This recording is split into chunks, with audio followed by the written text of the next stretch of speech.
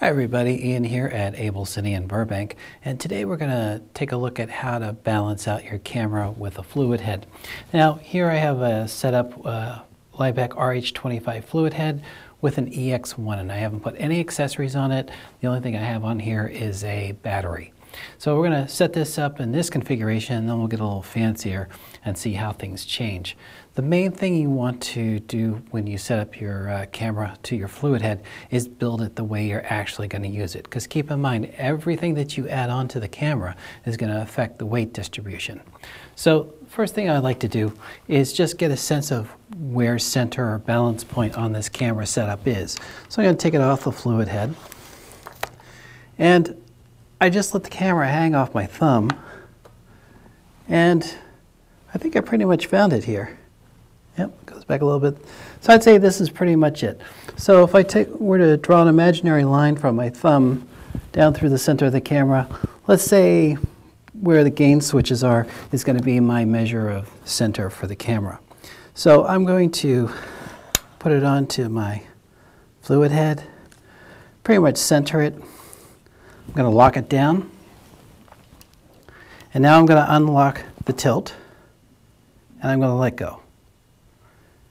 The camera isn't moving, so I'd say we pretty much hit the center point here. It's moving a little bit, so let's move it forward just a hair. And again, depending on the weight you have on your camera, always keep your hand close to the panhandle in case it starts to move. Okay, we're really not moving at all here. So I'd say we pretty much hit the center point on the camera. So the next thing we want to do is we want to engage the counterbalance. What the counterbalance is doing is exactly that. As I tilt forward, for example, and the weight starts to go forward on the fluid head, the counterbalance is going to counteract that force. You see if I let go, it's tilting down on its own. So in the back, I have a counterbalance dial, and I'm going to turn it clockwise. And As I turn that clockwise, it's going to progressively add more and more counterbalance. So I let go. The idea of your counterbalance is that you want to have it set in such a way that when you let go, it pretty the camera doesn't move. I'm going to add maybe half a turn and see where we are here. Okay, that's looking great.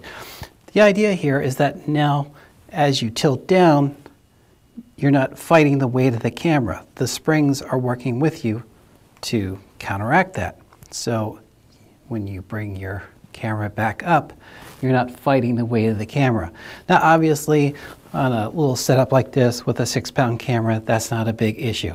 Where it can become an issue for you is if you're doing really tight shots and you're doing very slow movements, then you can start to see that kind of thing on the screen if it's not set up properly. Obviously, the more weight or the heavier the camera setup is, the more this becomes an issue. So now that we have that all set up, we're pretty much good to go. I'm going to build a little bigger setup on here. Let's check that out. So we're back with a built camera, and you, as you can see, I've added a matte box and a follow focus, and we have a 15 millimeter uh, rod system attached to the camera to hold all those accessories. So now that I've added things towards the front of the camera, uh, we would expect to see the balance point towards the front. And on the bottom here, we have a 3 8 16 and a quarter 20 uh, tie down, and it sits in a track that allows it to travel back and forth. But if I check my balance point, you're going to see that it's shifted from here up to about here. Well, that 3 8 16 just about makes it, but not quite. But luckily, on the plate with our fluid head, we have a tie down that will travel back and forth. So what I'm going to do is I'm going to attach this to the rod holder, uh, move it back and forth, and we'll find a good point, and then we'll try balancing out the camera. Now we have the uh, camera plate attached, and I've put it about centered to where I think balance point will be. So we're going to go ahead and slide it onto the fluid head, and I'm going to eyeball it and tie it down over here. Over here, there's a little tie down right here that, that controls my back and forth movement. So I'm going to center it I'm going to unlock my tilt. And I am front heavy. So we're going to unlock, bring it back. I'll try it again. Oop, now we're the other way. So about halfway between the two.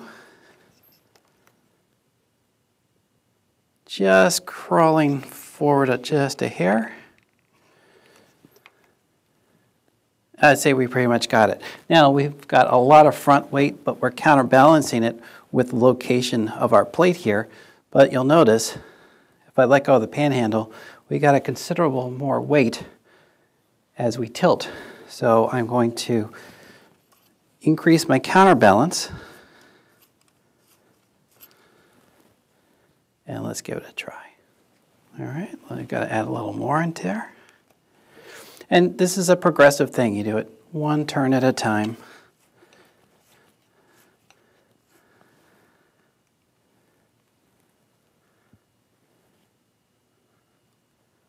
And I'm almost at nine pounds on this camera build, uh, which is fine for this because the head itself will take 11 pounds, up to 13 pounds, and the counterbalance is up to 11. So just a hair more, I'm going to dial it in a little bit. And there we go, we're all set to shoot. So no matter what the build of your camera or the size or the weight, keep these rules in mind and you'll have a perfectly balanced uh, camera setup ready to go for operation. Thanks for watching. See you again soon.